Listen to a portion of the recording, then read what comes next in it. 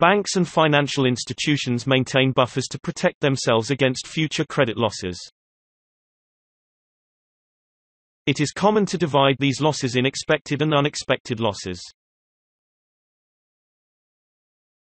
The unexpected losses are, by their nature, impossible to calculate. Capital buffering for these losses is the theme for another video.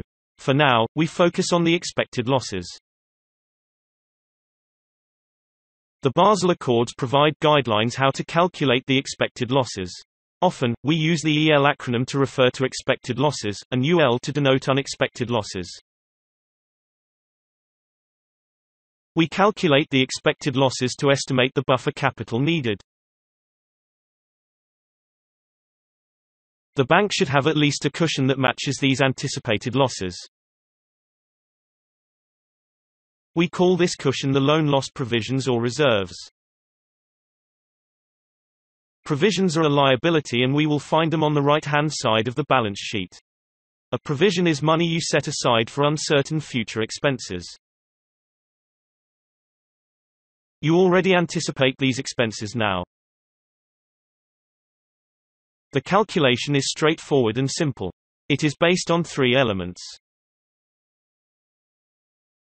The exposure at default or EAD. The probability of default or PD. And the loss given default or LGD. The EAD is the amount outstanding. If possible, the bank should make a correction for the amount it will lose whenever a default occurs. This might be different from the actual exposure. Obligors in financial difficulty tend to draw down a credit line to the max. For our expected losses calculation, we should consider this worst-case scenario. The PD is the likelihood that an obligor will default on his obligations to the bank. It is expressed in a percentage. The probability of default has a one-year horizon. The loss given default or LGD is the part of credit the bank will lose in case of a default. Often, the bank can recover part of the losses by seizing assets or through guarantees. Say, the bank clawed back 60% of the loan amount, then the loss given default is 40%. The 60% we call the recovery rate. LGD and recovery add up to 1. Also, the LGD has a one-year horizon. Bankers might wonder where to get those PD and LGD numbers. The answer lies in the bank's historical data. Other sources include rating agencies and other partner banks operating in the same market.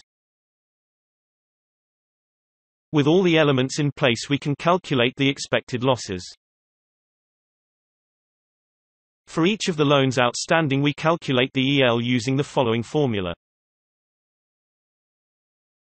The sum of the ELS in of the loan portfolio equals the total expected losses.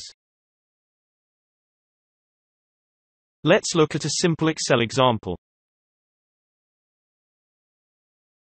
We have three loans A, B, and C.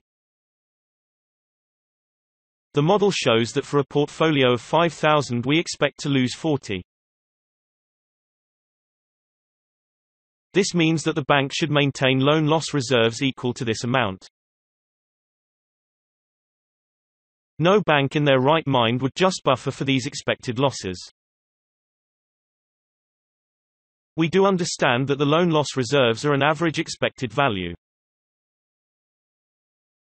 The assumptions for PD and LGD levels will vary, and with them the actual losses. The bank will also keep a buffer for these unexpected losses. This is on top of the loan loss provisioning. This is the subject for another video.